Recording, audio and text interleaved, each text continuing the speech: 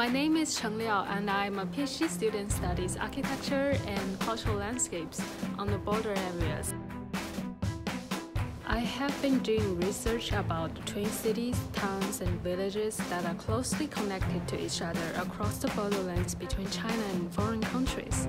The twin areas may share the same natural environment, cultural, social traditions, and economic interests, but are separated by a line with political meaning. I just visited China-Vietnam border as the first phase of my field trip. There I saw fusions and conflicts in the way people build their living environment and their respective lifestyles, which were different from the world far away in the centers of nations. I want to share these spectacles and the stories behind the spectacles with you. Hope you'll be interested and stay tuned in.